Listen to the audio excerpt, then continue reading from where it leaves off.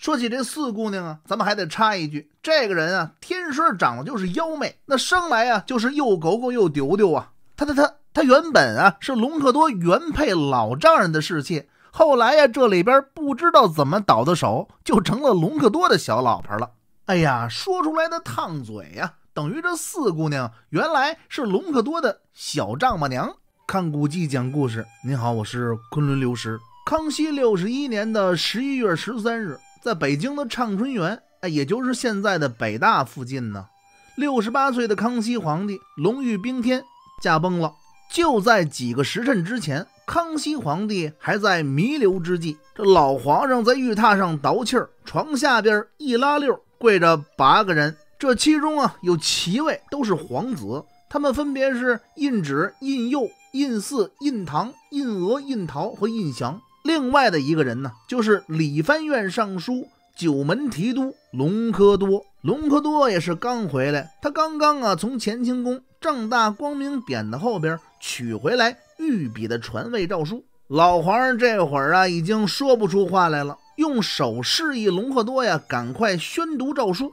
隆科多站起身来，朗声宣读：皇四子雍亲王胤禛。人品贵重，身肖正宫，必能克成大统。着即朕登基，继皇帝位。哎，凡是经这个雍正皇帝手的清代史料啊，都是这么来形容康熙驾崩时的场景的。这个场景啊，属不属实，是真是假，到底有没有出入，史学界一直争论到了今天，也没有什么正经的结果。今天咱们这段书啊，重点它不在这儿，咱们主要还是聊隆科多。问题就在于这隆科多，无论是文职理藩院尚书，还是武职这九门提督，好像作为宣读诏书这档次上啊，都差了那么一点儿。这也是很多学者呢怀疑这件事情的原因。在这方面呢，刘师我呀倒是有一点看法，想跟大伙儿啊聊聊。首先说呀，康熙六十一年，康熙皇帝南园围猎病倒以后，住在了畅春园，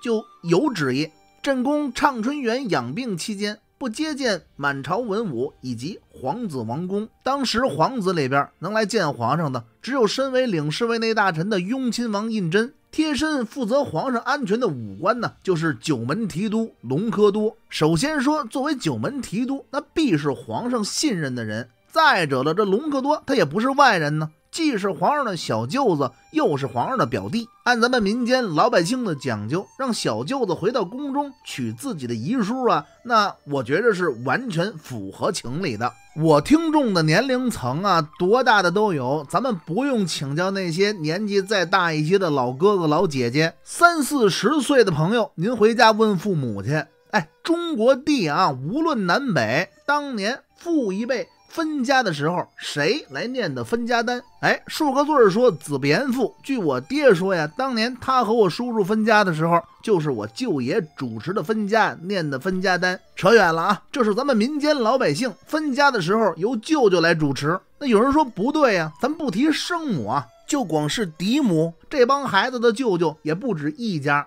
对呀，这康熙皇帝啊，一共有四位皇后。当然了，这孝恭仁皇后乌雅氏这会儿啊，她还不是皇后呢。她是因为她的好大儿胤禛做了皇帝之后，她才有了皇后这个位号。那么，除了乌雅氏、孝成仁皇后、赫舍里氏、孝昭仁皇后、钮祜禄氏，他们家中也有兄弟，那为什么不是那些舅舅呢？再者了，孝仪仁皇后佟佳氏他们家隆科多，他也不是长子，也不是这大舅啊，他是排行在三。怎么宣读遗诏的就是隆科多呢？关于这一点啊，您不用纠结，您就单从啊这康熙五十年，康熙皇帝把九门提督这么重要的工作交给这个小舅子，在老皇上众位舅爷当中啊，这康熙皇帝最喜欢、最信任的，还得说是这隆科多。对喽，单凭皇上喜欢和信任这一个条件，他足够了。说来这皇上信任喜欢隆科多呀，有一点很重要的原因，就是因为在康熙四十七年废太子风波当中，这隆科多并没有站队，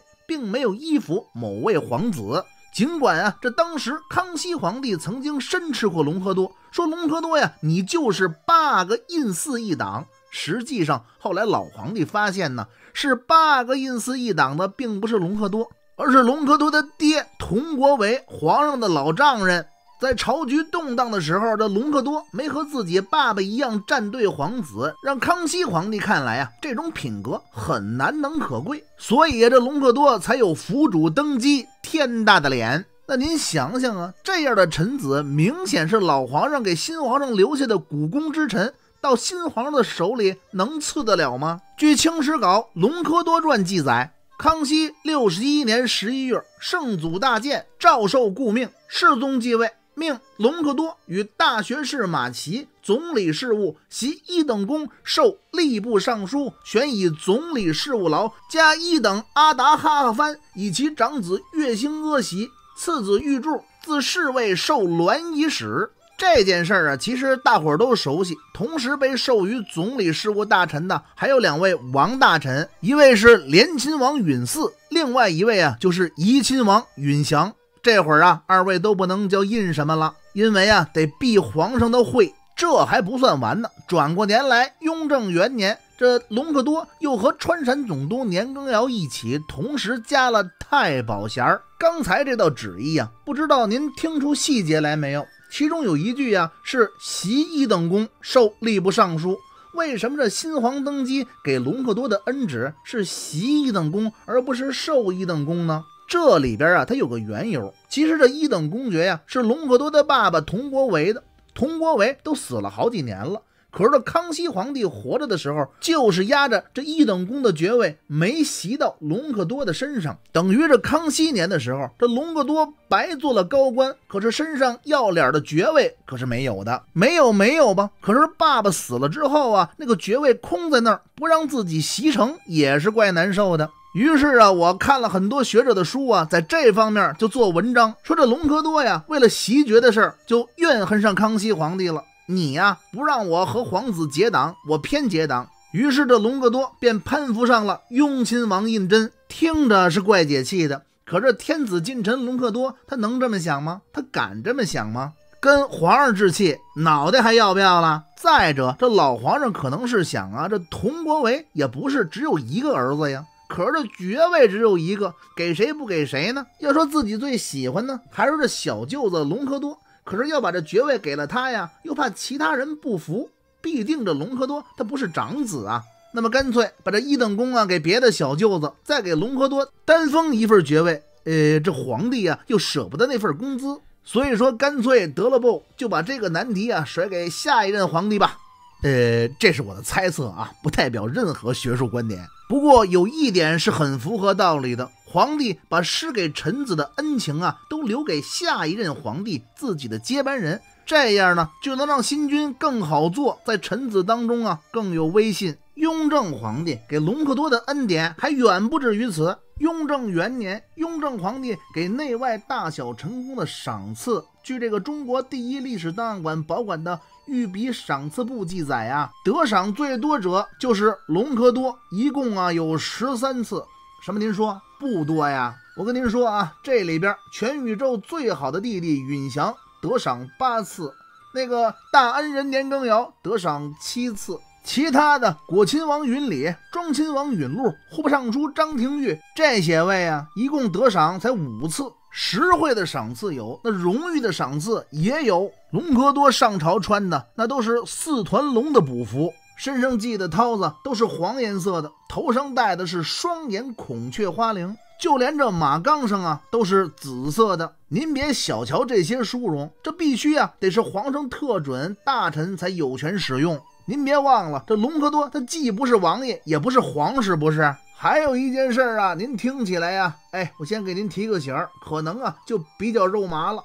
在雍正皇帝登基以前呢，就称呼着隆科多为三舅。登了基以后啊，这雍正皇帝更是逢人就说：“这孝仪仁皇后啊，不但是我的嫡母，而且呀，是我的养母。从小啊，我就跟他老人家身边长大，所以说这隆科多呀，他就是我的亲舅舅。不但嘴上这么说呀，这皇上还下旨，隆科多应称呼舅舅，嗣后起奏处书写舅舅隆科多。”也就是说，自此以后，再有任何文书上提到隆科多三个字，前边必须加上舅舅这个称呼。得，皇上一个人的舅舅啊，这下成了全国人民的舅舅了。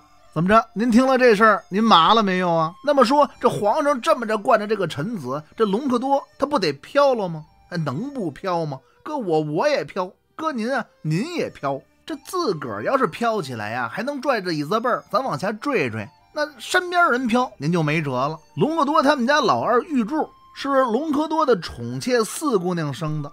这四姑娘啊，本来就受宠，所以说这儿子呀，惯的也没样。说起这四姑娘啊，咱们还得插一句，这个人啊，天生长得就是妖媚，那生来啊，就是又狗狗又丢丢啊。他他他他原本啊是隆科多原配老丈人的侍妾，后来呀，这里边不知道怎么倒的手，就成了隆科多的小老婆了。哎呀，说出来的烫嘴呀，等于这四姑娘原来是隆科多的小丈母娘。哎，咱不说这不要脸的，咱们还是接着说呀。这倒霉的儿子玉柱，这儿子呀，算是给隆科多惹了事儿了。平时啊，就是行为不端，怂恿属下受贿呀，他好从中吃红利提成。一下子儿子犯了事啊，就连累了隆中堂。就在这个时候啊，另一位雍正皇帝的宠臣年羹尧也犯了事儿了。在给年羹尧议罪的时候，这隆科多呀犯了一个议罪过轻的罪过，一下子就让皇帝叨住了小辫子。首先啊，先解去了九门提督的职位。哎，这就说明啊，这皇上他不信任你了，不打算再把自己的身家性命交由你来保护了。并且呀，咱们大伙儿都知道啊，这雍正皇帝啊是爱倒小肠的人。他跟这个隆科多说呀，自此以后。这四团龙的蟒服啊，你别穿了；还有这双眼花翎也别戴了，黄带子、紫钢都不能用了。赏你的东西啊，一律统统的给我交回来。然后你呢，也别闲着，你呀就去这个北边二太附近，到那边去监督啊，开垦荒地去吧。那么说，这雍正皇帝就是因为这些子事儿对自己的这个舅舅不满吗？还真不是。另有原因。自雍正皇帝继位以来，这隆科多的官职大涨，他已然啊，现在就是佟家氏的掌门人了，并且呀，他做着这大清朝廷上一个要紧的官职，什么呀？吏部尚书，管官的官儿。这样啊，在家族其他人员看来呀，他就有义务和能力来保护自己的族人。可是您可别忘了，他这些族人在康熙晚年的时候，在他爹佟国维的带领下，那可都是八爷的人。八个允嗣，那可是雍正皇帝视为的头号政敌。隆科多作为新任家族的掌门人，必须保护自己的族人，所以在利益上啊，就跟皇帝产生了分歧。所以说，这雍正皇帝想整治舅舅隆科多，那可不是一天两天的事儿了。官儿是降下来了，可是心下不来呀。这佟大人啊，心里可不宣愤了。于是呢，这心里不宣愤啊，嘴上也不闲着。有人拍隆科多的马屁，说您是受诏顾命大臣啊，当年圣祖爷的遗诏就是您宣读的吧？这隆科多的心里有气儿啊，他张嘴就来，宣读什么呀？当时我也没在场啊。哟，宣读遗诏的大臣说当时不在现场，那么雍正皇帝这皇位是咋来的呀？再一喝美了呀，他想起当年做九门提督的时候了，他跟别人说呀，当年圣祖宾天之日，我身为提督，关系重大。振臂一挥，可呼两万兵。那别人就想了：这圣祖宾天，你呼两万兵干嘛呀？是不是给现在的皇帝撑腰，好让他矫诏篡位呀？有的时候啊，他喝着喝着伤感了，他就跟旁人说呀：“白帝城受命之日，即是死期将至之时。”哈气，谁是刘备？谁是诸葛亮啊？那么谁又是那无能昏弱的刘禅呢？这简直就是指着皇上后脑勺骂衔接了。这些个还在其次，有人告发呀，这隆科多家里藏着一件不该他有的东西，什么呀？